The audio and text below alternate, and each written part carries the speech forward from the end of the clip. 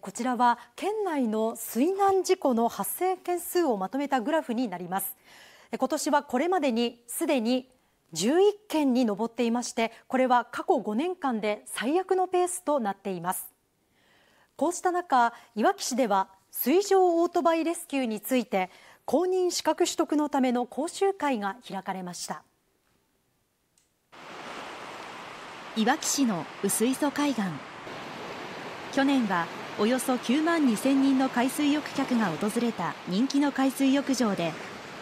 今年は来月15日に海開きを迎えます。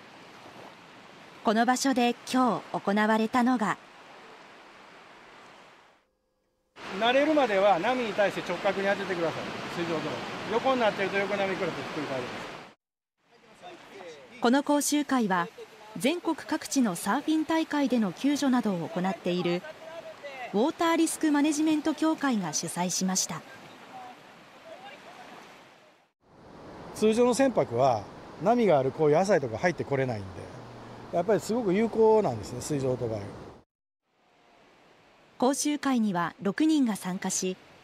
水上オートバイのメンテナンスや海上での救助法を学びました。自分が知ってて、まあね、周りの仲間にも同じようなことを知って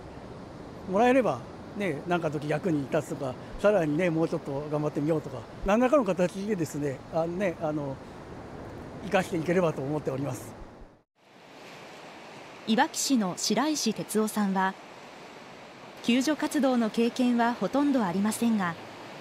何か役に立つことができればと参加しました。要救助者を乗せた板を取り取り付けただけで操縦も難しくなるという水上オートバイ白石さんも苦戦しながら一つ一つ技法を身につけていきます。